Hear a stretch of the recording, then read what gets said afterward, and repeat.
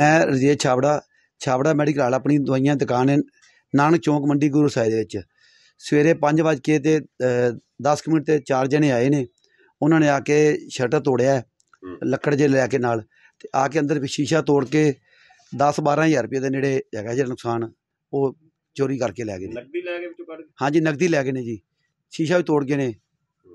ਕੋਈ ਸੀਸੀਟੀਵੀ ਕੈਮਰੇ ਲੱਗੇ ਹੋਏ ਜੀ ਹਾਂਜੀ ਉਹ ਸੀਸੀ ਕੈਮਰੇ ਸੀ ਸਾਰਾ ਖੰਗਾਲਿਆ ਸਾਰਾ ਉਹ ਸਾਰਾ ਭੇਜਤੀ ਰਿਪੋਰਟ ਭੇਜਤੀ।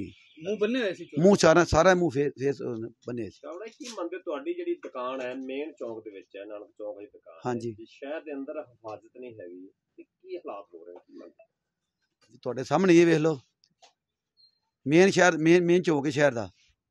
ਵੀ ਹੋਰ ਦੁਕਾਨਾਂ ਦੇ ਸੁਣਿਆ ਸੀਗਾ ਵੀ ਕਰਿਆਨੇ ਦੀ ਦੁਕਾਨ ਤੇ ਹੋ ਗਈ ਜੀ। ਮੈਡੀਕਲ ਤੇ ਪਹਿਲੀ ਮੈਂ ਤਾਂ ਅੱਗੇ ਰਾਣਕ ਮੈਡੀਕਲ ਦੁਕਾਨ ਤੇ ਚਾਂ ਤੱਕ ਕੀ ਮਤਲਬ ਨਾਲ ਚੋਰੀ ਕਰਨ ਮਤਲਬ ਸਿਰਫ ਮੂੰਹ ਸਾਰਾ ਟੱਕੇ ਨਾਲੇ ਇੱਕ ਵੀ ਸ਼ਟਰ ਖੋਲਿਆ ਨਹੀਂ ਨਾ ਖੁੱਲਿਆ ਦੁਬਾਰਾ ਫੇਰ ਆਏ ਨੇ ਫਿਰ ਦੁਬਾਰਾ ਤੇ ਨਾਲੇ ਬੰਦੇ ਵੀ ਸਾਹਮਣੇ ਚਾਰ ਬੈਠੇ ਹੋਏ ਨੇ ਉਹਨਾਂ ਡਰਾਉ ਧਮਕਾ ਕੇ ਨਾਲ ਕੋਈ ਕਾਪਾ ਮਾਰਾਂਗੇ ਜੇ ਨੇੜੇ ਆ ਗਏ ਤਾਂ।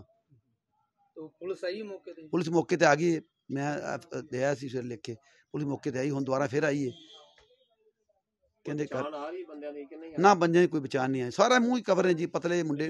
ਕੋਈ ਕੀ ਪਤਾ ਕਿੰਦਾ ਕਿਹੜਾ ਜੀ ਕੀ ਮੰਗ ਕੀ ਕਰਦੇ? ਪਰ ਨਿਆਂ ਮਿਲਿਆ ਜਾਵੇ ਜਿਹੜੇ ਬੰਦੇ ਚੋਰੀ ਜਿਹੜੇ ਬੰਦੇ ਫੜੇ ਜਾਣ ਜਿਹੜੇ ਜਲਦੀ ਜਲਦੀ ਮੇਰਾ ਨੁਕਸਾਨ ਹੈ ਕੱਲ ਨੂੰ ਕਿਸੇ ਹੋਰ ਦਾ ਤਾਂ ਨੁਕਸਾਨ ਨਾ ਹੋਏ ਨਾ ਕਿਸੇ ਦਾ।